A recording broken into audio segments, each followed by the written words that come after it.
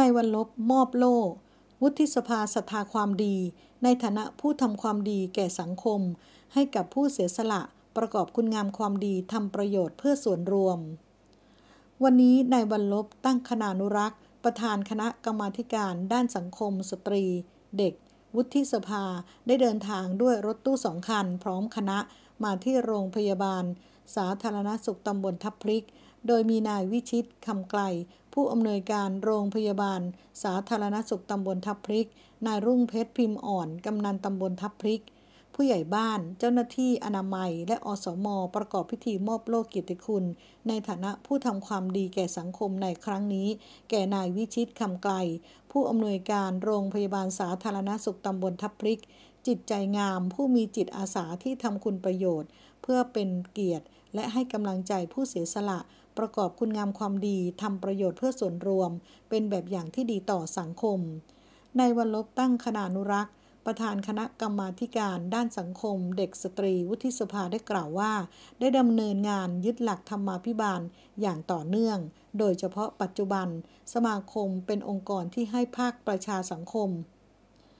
เพื่อเผยแพร่และเป็นต้นแบบในการนำเครื่องมือเพื่อไปใช้กับการทำงาน และโครงการต่างๆ ในชุมชน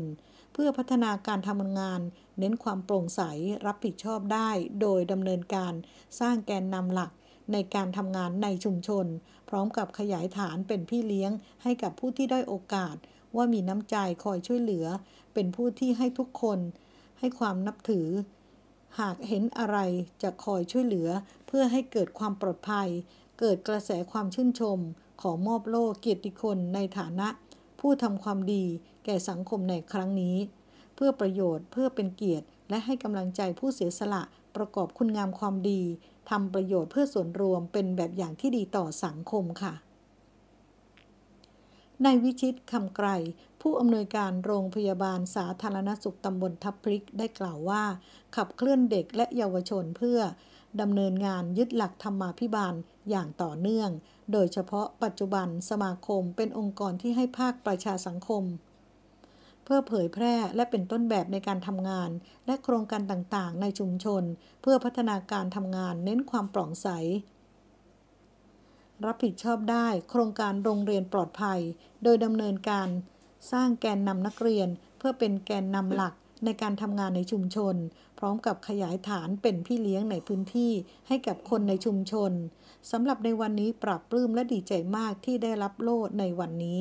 นายรุ่งเพชรพิมพ์อ่อน กำนันตำบลทับพริกได้กล่าวว่า ขอแสดงความยินดีกับผู้ที่ได้รับโล่เกียรติคุณในครั้งนี้ เห็นว่าเหมาะสมดีในการทำความ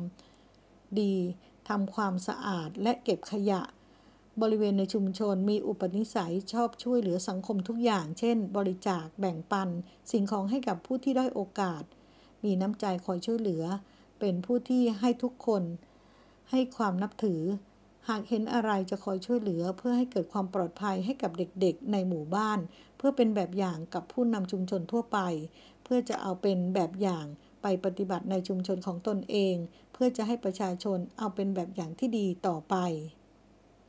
โล่ให้หมอวันนี้ก็ครับ คือวุฒิสภา เนี่ยโดยคณะกรรมาธิการการพัฒนาสังคมของวุฒิสภาที่ผมทำหน้าที่เป็นประธานอยู่เนี่ยได้มีการประชุมหารือกับบรรดาท่านที่ปรึกษาผู้ชำนาญการและตัวสมาชิกวุฒิสภาเองเนี่ย แล้วก็เห็นพ้องต้องกันมาในประเทศไทยที่พัฒนาไปได้และก้าวหน้าไปได้ เพราะว่ามีคนไทยจำนวนมากที่ทำงานภายใต้แนวคิด ที่พระบาทสมเด็จเจ้าอยู่หัวรัชกาลที่เก้าท่านพระองค์ท่านทรงตรัสไว้ว่า ประเทศไทยไปได้เพราะมีผู้ที่ทำงานปิดทองหลังพระอยู่มากนะครับด้วยคำคำนี้เนี่ย เราก็เชื่อว่าบุคคลทั้งหลายทั้งปวงเนี่ยคงทำงานกันเต็มแผ่นดินไปหมดอะเพียงแต่เราไม่ทราบว่าแต่ละท่านอยู่ที่ไหนและทำอะไร แต่แนวคิดเนี่ย ประจักษ์อยู่ในใจแล้วเราก็เลยแสวงหาข้อมูลของบุคคลเหล่านี้ หลังจากเราได้เผยแพร่แนวคิดนี้ออกไปปรากฏว่ามีคนไทยจำนวนมากเลยทั้งประเทศส่งข้อมูลเข้ามาเยอะมากว่า จังหวัดผมมีคนนี้อยู่ จังหวัดนี้มีคนนี้อยู่ ที่นั่นมีคนนี้อยู่ทำงานดีเนี่ย ข้อมูลจะไหลเข้ามาเยอะ แต่หลังจากข้อมูลเข้ามามาก เราก็ต้องมีเรื่องบรรดาที่ปรึกษาซึ่งก็มานั่งกรองกรองข้อมูลทั้งหมดว่า ข้อมูลไหนโอเคไม่มากน้อยเพียงใดแล้วก็หาข้อมูลเพิ่มเติมรวมทั้งลงพื้นที่เพิ่มเติมด้วยจนเราแน่ใจว่าแต่ละคนเนี่ย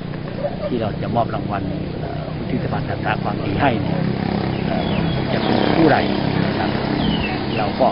เราก็กำหนดขึ้นมาจนเรียบร้อยหลังจากเรียบร้อยเราก็มีความคิดต่อไปว่า แทนที่จะเชิญท่านเหล่านั้นไปรับรางวัลที่วุฒิสภาซึ่ง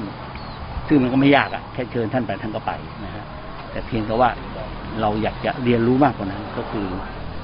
แทนที่ท่านจะต้องไปเรามาเองดีกว่าเพราะการที่คณะมาเนี่ยก็ได้พบตัวบุคคลที่รับรางวัลอยู่แล้ว ก็ได้เห็นงานเห็นสถานที่เห็นเพื่อนพ้องน้องที่เห็นชาวบ้านนะที่อยู่กับเอ่อผู้ที่ทำงานเหล่านี้เนี่ยมันทำให้เราเนี่ยได้เรียนรู้ไปในตัวด้วยนะฮะซึ่งหมอก็เป็นบุคคลหนึ่งที่ที่ได้ผ่านการพิจารณาของคณะครับครับแต่เมื่อเรามาถึงที่นี่อะเราก็มีความสุขแล้วก็มีความเข้าใจ แล้วก็ได้รับเรียนรู้ถึงวิธีทำงานของหมอมากขึ้นนะฮะหลายเรื่องที่เราไม่เคยรู้เราก็รู้มากกว่าตัวหนังสือนะฮะก็คือได้ได้ฟังได้พูดได้คุยด้วย อันนี้ก็เป็นที่มาและวัตถุประสงค์ทั้งหมดนะครับนี่การมาหลายเดือนแล้ว แต่เราดูความสะดวกของกรรมาธิการความจริงหมอถูกเลือกไปรายแรกโอ้ๆแต่เราก็จะดูว่าเราจะเดินทางยังไงเพราะว่าภารกิจเราเยอะมากครับนะจะไปที่นี่เมื่อไหร่อย่างไร คณะพร้อมกันบ้างเมื่อไหร่ เราจะจัดตารางตารางนะ จนลงตัว คือลงตัวมันต้องแบบใช้เส้นทางเช่นมาปาจีนมาสาแก้วมอบสักทีเดียวหลายๆท่านโอ้เพราะไม่งั้นเราจะเสียเวลามากจะใช้เวลาในการเดินทางนะครับก็เช่นมีอะไรเดียวกันนจะฝากถึงคือคือผู้ทผมเชื่อว่าระดับพื้นที่เนี่ยมีคนดีๆเยอะมากนะครับเพียงำให้พูดถึงความรู้สึกหน่อยครับ ครับก็มีความรู้สึกว่าก็ต้องขอบคุณนะครับ ทางคณะกรรมการ ของคณะกรรมาธิการด้านสังคมเด็กและเยาวชนนะครับ ของวุฒิสภานะครับ ซึ่งท่านวันลบตั้งคณานุรักษ์เป็นประธานกรรมาธิการอยู่นะครับ ที่ได้คัดเลือกแล้วก็เดินทางมามอบรางวัลให้นะครับ ก็ถือว่าเป็นหนึ่งของอความภาคภูมิใจที่ได้ร่วมกับพี่น้องประชาชนนะครับไม่ว่าจะเป็นอสม ผู้นำชุมชนผู้นำท้องถิ่นในการที่จะ ขับเคลื่อนงานด้านมิติทางด้านสังคมควบคู่กับไปเรื่องของสุขภาพต่อไปนะครับ ซึ่งในวันนี้เนี่ยก็ต้องต้องขอบคุณทางท่านประธานกรรมาธิการนะครับ ท่านวันลบตั้งคณานุรักษ์และคณะกรรมการทุกท่านที่ได้เดินทางมามอบรางวัลอันทรงเกียรติให้กับผมนะครับ ถึงที่ทำงานที่นี่ครับแล้วได้รับรางวัลนี้มีความรู้สึกยังไงบ้างครับ ครับ ก็คิดว่านะครับ เหมาะสมนะครับ เหมาะสมแล้วก็ที่สัมผัสงานกันมา 20 กว่าปีนะครับ ถือว่าตั้งแต่แต่เริ่มงานกันมาเนี่ยถืออะไรแปลกใหม่มาอยู่เรื่อยๆ ในแนวคิดในไอเดียต่างๆ แม้กระทั่งนะครับาการแบ่งรับแบ่งแบ่งสู้ในสถานการณ์ที่หนักๆ เราก็ผ่านมาด้วยดีในเรื่องของเหตุและผลนะครับ โดยคุณหมอเนี่ยจะเป็นหลัก แล้วก็เป็น ถือว่าเป็นหนึ่งเดียวนะครับ ในตำบลเราที่ช่วยนะครับ ในการพัฒนาช่วยในการพลิกวิกฤตต่างๆ ซึ่งเป็นตำบลชายแดนที่เกิดวิกฤตอะไรต่างๆ ที่เกิดขึ้นในเรื่องต่างๆ ที่เกิดขึ้นเนี่ยทำให้ตำบลเราเนี่ยผ่านแล้วก็ไปด้วยดีในเรื่องทุก ๆ เรื่องก็ว่าได้นะครับ ในการสัมผัสที่ผ่านมา เป็นฝากถึงผู้นำต่างๆ ให้ทำงานยังไงครับการทำงานนะครับ ถือว่านะครับ หลาย ๆ แนวคิดเนี่ย เป็นประโยชน์อย่างยิ่งในการขับเคลื่อน ส่วนที่สำคัญที่สุดจะต้องมีอ่าคนที่เราจะต้องรับฟังความคิดเห็น แล้วก็ให้โอกาสนะครับ กับความคิดกับการแก้ไขปัญหาในทุก ๆ ด้านนะครับ บางครั้งเราลืมตัวเองไปว่า เชื่อมั่นตัวเองมาก แต่ นะครับ ในการเชื่อมั่นในมุมมองอีกหลาย ๆ มุมที่เขามองเราอยู่นี่ยจะเป็นส่วนหนึ่งที่จะต้องอารวมกันร่วมกันในการวิเคราะห์วินิจฉัยเรื่องของปัญหานั้นๆนะครับ จะต้องรับฟังนะครับ อย่าฟังตัวเอง อย่าอย่าฟังตัวแนวคิดตัวเองเป็นหลักนะครับ จะต้องอาศัยนะครับ ผู้นำในตำบลหรือว่าอ่า